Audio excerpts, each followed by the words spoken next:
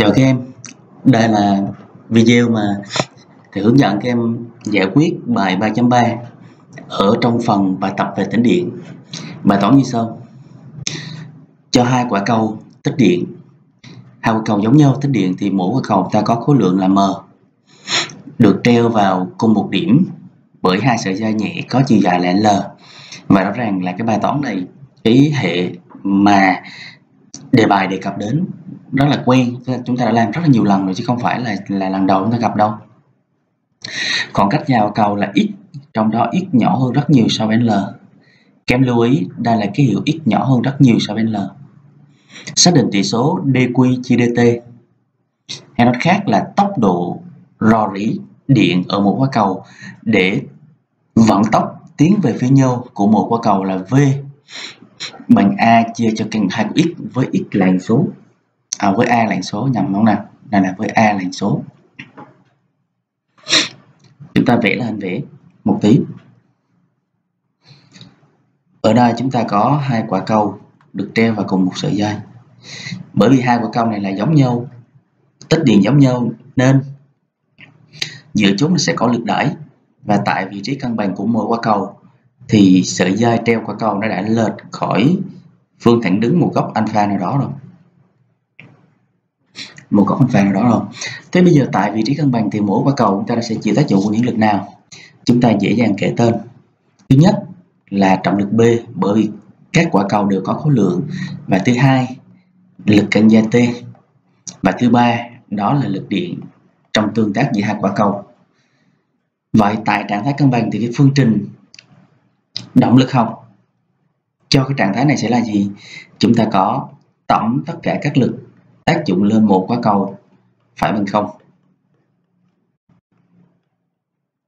Vậy, từ đây chúng ta suy ra ngay. Đó là b cộng cho f. Thì chuyển t từ vế trái sang vế phải thì chúng ta sẽ có là trừ t. Phương trình này chúng ta gọi là phương trình sao. Vậy thì cái phương trình này nó có ý nghĩa là gì? Tại sao chúng ta phải suy ra như vậy? Các em lưu ý từ phương trình sau thì chúng ta sẽ nhận thấy một điều rằng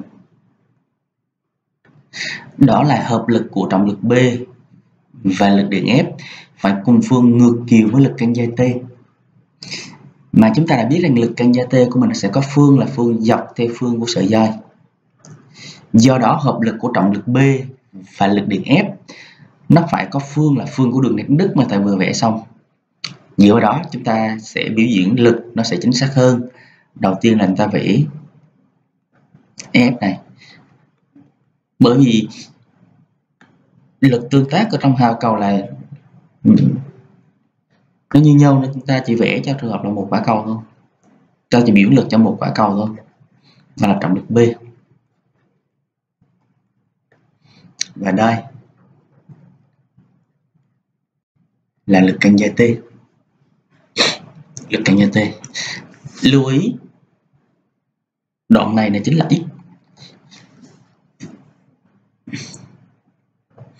như lập luận đã đã trình bày thì chúng ta dễ dàng xác định được góc này góc này, nó cũng chính là góc alpha. Và thì chúng ta có được điều gì? Chúng ta sẽ có ngay tan của góc alpha nó sẽ bằng f chia cho cho b. Hay chúng ta sẽ có k này f theo định luật Coulomb chúng ta có f bằng k. Q bình. Chia cho r bình. R lúc này nó chính là x. Bình. Nó sẽ bằng b nhân tan alpha b là mg tan của góc alpha thì nó sẽ bằng là gì nào? Tan sẽ bằng đối. Chia cho kề đối của chúng ta nó chính là x chia 2 kề của chúng ta nó chính là đoạn này. Vậy đoạn này thì nó sẽ bằng là gì nào? Đoạn này nó sẽ bằng chiều dài sợi dây bên này, trừ cho x chia 2 x chia 2 tất cả bên. Cho lưu ý. Đến đây thì chúng ta sẽ tiếp tục xử lý bài toán một lần nữa. Lưu ý với giải thuyết bài toán là x của chúng ta nhỏ hơn rất nhiều so với l. Nó nhỏ rất nhiều so với l mà. Do đó, cái biểu thức ở dưới dấu căn bậc hai này, chúng ta có thể tính xác định gần đúng không nào? Bởi vì x nhỏ hơn rất nhiều so với L, do đó phép trừ giữa L bình với x chia 2 tất cả bình nó phải sắp xỉ bằng L bình. Vậy cái biểu thức này bây giờ nó sẽ trở thành là gì nào? Chúng ta sẽ có là K quy bình chia x bình. Bây giờ chúng ta sẽ có là m, g, x chia cho 2 l. Vậy từ đây chúng ta sẽ có ngay là quy bình sẽ bằng là mg chia cho 2 k, l, và nhân cho x mũ 3 nhân x mũ 3 và đây chính là biểu thức liên hệ giữa đây là biểu thức liên hệ giữa điện tích mà mỗi quả cầu tích được với x là khoảng cách giữa giữa hai quả cầu. Thì bài toán yêu cầu, chúng ta xác định cái thương số dq thương số dq chia cho dt thương số dq chia dt hay nói khác là đạo hàm của quy theo thời gian. Đạo hàm của quy theo thời gian. Để tốc độ tiến về phía nhau của mỗi quả cầu là v bằng a chia cho cho càng x, trong đó a của chúng ta là hình số rồi. Vậy đến đây thì chúng ta sẽ xử lý thế nào? Làm thế nào để chúng ta xuất hiện được dq chia dt à đến đây chúng ta sẽ sử dụng công cụ toán học là đạo hàm. Chúng ta sẽ đạo hàm hai vế cái phương trình này. Phương trình này chúng ta gọi là phương trình hai sao đi. Chúng ta đạo hàm hai vế hai sao. Đạo hàm thì chúng ta sẽ được là gì này quy bình mà ta đạo hàm thì chúng ta sẽ tạo được là hai quy dq chia dt à đây là cái mà bài toán vừa đề cập. Bên này chúng ta sẽ thu được gì nào? M, g là hình số này. 2 k với l cũng là hình số. X mũ 3 chúng ta đã làm thời gian, chúng ta sẽ thu được là 3 x bình dx chia dt vậy nào? 3x bình dx chia dt thế thì từ đây chúng ta sẽ thu lại được ngay, đó là dq chia dt là cái mà chúng ta cần tìm này thì nó sẽ bằng là 3 m, g chưa x bình. Ở dưới này ta sẽ là 4 k, l, q, và nhân cho dx chia dt thế thì cái dx dt là cái gì nào? Chúng ta xử lý nó thế nào? Chúng ta lại phải để ý đến một cái nội dung mà mình đã học ở phần cơ học rồi, chúng ta có đạo hàm theo thời gian của x, nó chính là gì nào? Nó chính là v. Thế thì chúng ta từ mình ra luôn thì nó sẽ bằng là 3 mg ở đây ta sẽ có là 4 kl 4 kl bên này chúng ta có là x bình q chúng ta thay vào a ta đưa ra phía trước. Biểu mình nó là số rồi.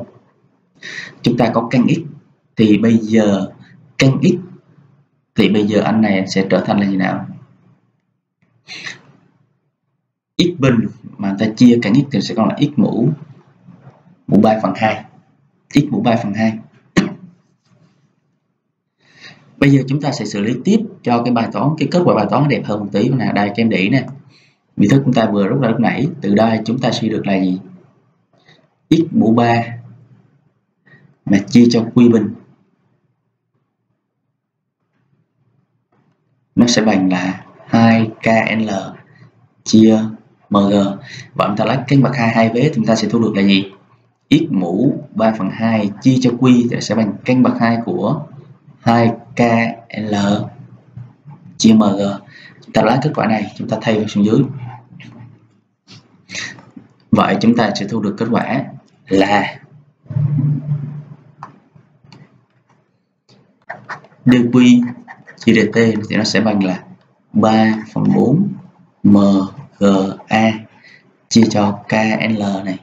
Này mình sẽ thay bằng cánh bậc 2 của 2kl chia mg ta đơn giản đi 3 phần 4 a là số thì đưa ra ngoài, cánh bậc 2 ở phía trên ta sẽ còn là 2 m, g.